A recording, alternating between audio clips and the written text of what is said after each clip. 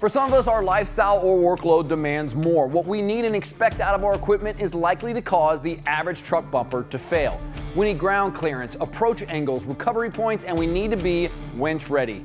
The Warn Industry Engineers in Clackamas, Oregon have designed and tested the Ascent bumper specifically for those of us who need and demand more from our equipment. Today we're going to look at the step-by-step -step instructions on how to install the front and rear Ascent bumper. Your hardware comes in a large bag. It's a good idea to break it out and organize your hardware before you get started. Remove the license plate. Remove plastic shrouds that cover the eight mounting bolts. Remove the eight bolts. If equipped, unplug the block heater harness located behind the passenger fender well splash shield. Unclip the connector from the frame rail and move it aside. Unplug the fog lamp harness connector located on the driver's side frame rail. Remove the two bumper brace bolts from the frame. Repeat on the other side. With assistance, remove the stock bumper. Remove the eight tow hook bolts. Remove tow hooks. If equipped, remove the four underride bar nut plates. Install frame brackets left and right. Please note, the brackets are not symmetrical. Check Exploded View for proper orientation. Use four 5-8-11 bolts, washers, lock washers, and nuts on the outside of each bracket. Repeat for the other side. Use two half-inch 13 by 1 3 quarters bolts, washers, lock washers, and nuts on top of each bracket. Repeat for the other side.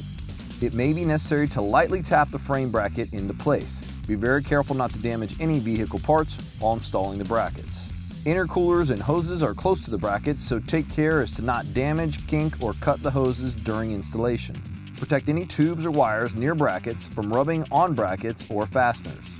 With assistance, place the bumper in position and secure it to the frame bracket with the four half-inch 13 by 2-inch bolts, washers, lock washers, and nuts.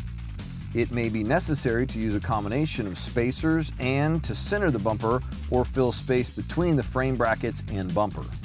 For the two lower holes, use a 716 by 2 inch bolts, washers, lock washers, and nuts to fasten the bumper to the frame brackets. Repeat for the other side. Refer to the exploded view on page 3 of your instructions. See page 2 to torque fasteners to specific torques. Reconnect any disconnected wiring. Double check that all mounting hardware for the frame brackets and bumper are at their proper torque or the factory torque.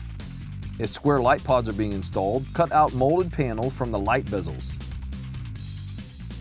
Openings are compatible with many commonly available LED light pods. While holding the light bracket in place, line up the light bezel through the front bumper light port to the bracket.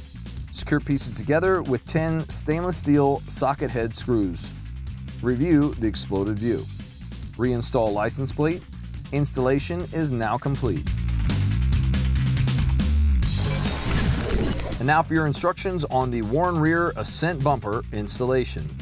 If equipped, unplug the trailer plug and backup sensor harness. Remove the two bumper support bolts from the hitch.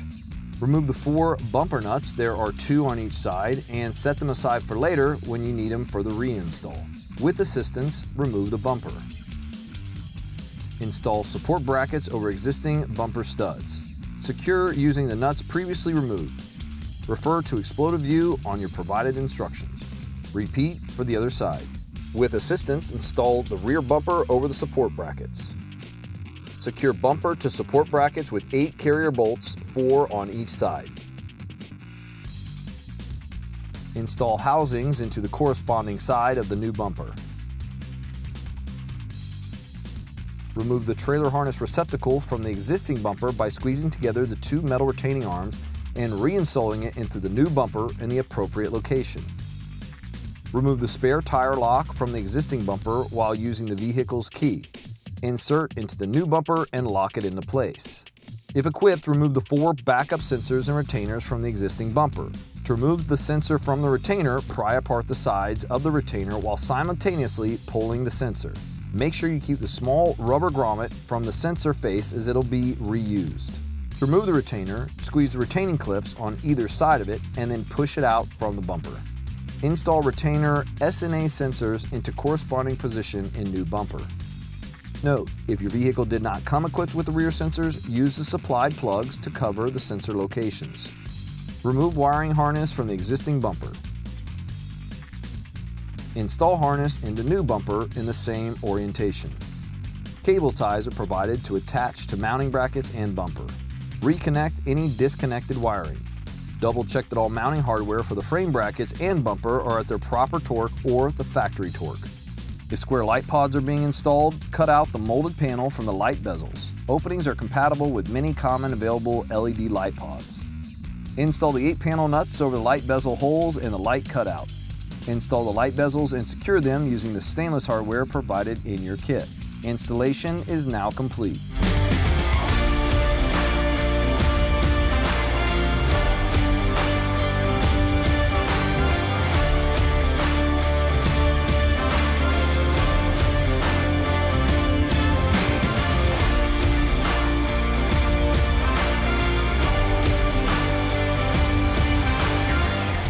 Order your Ascent bumper, simply go to warn.com. At the top of the page, you'll find the Where to Buy tab. From there, you can find an authorized red letter dealer, an authorized online retailer, or locate a Warn service center near you. For any other questions, email us at cs at warn.com or call 800 543 9276. Quality products you can depend on. That's the Warn difference.